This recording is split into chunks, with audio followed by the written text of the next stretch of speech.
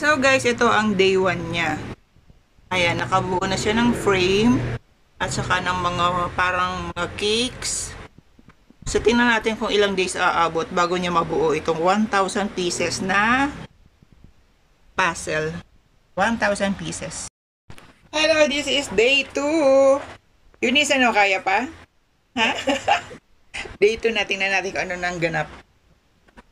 Uy, nabubuo na ng konti yung pagkain. Pagkain ba yan? Kain niya. Mga Yan. pagkain, mga cakes, tapos... Ito, si Vicky. O yan, may mukha na ni Mickey. Ayun pala ginagawa niya, pinagsasama-sama niya yung mga magkukulay, magkakakulay. So, abangan natin bukas ang day 3. Day 3. So, ito ang kanyang day 3. Meron na na-form doon na kulay blue. Meron na din sa taas. At ano to? Yeah, meron na rin siyang na-form na ganyan. Dati lagi lang siya nasa baba. So, yan ang kanyang day 3. So, guys, ito na yung day 4. Malapit na sa katotohanan. Ayan, may mga mukha na siya. Dati mga pagkain lang. So, ayan, mga ilang days pa kaya yan, Eunice, bago mabuo. One week. One week pa?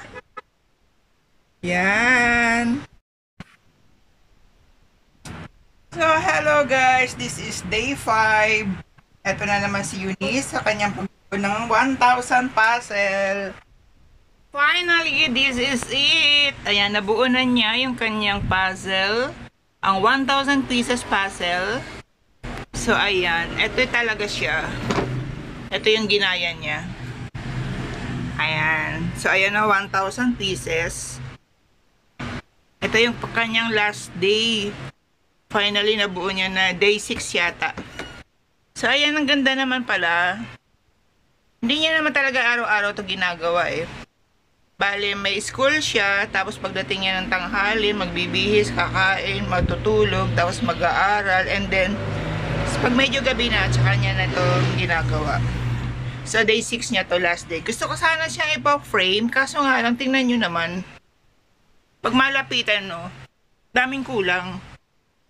Ayan, no, kulang. Ayan, 2.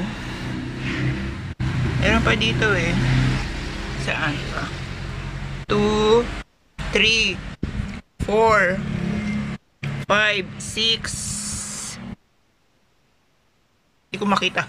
6, ito pa, 7. Ito pa, 8. Anong nangyari? Ba't ang daming kulang? So, mahirap na siyang i-frame. So, 8 pieces ang nawawala. So, wala. Hindi natin siya mapag-frame. So, bye! Thank you, Eunice. At least nabuo mo na rin yung iyong puzzle.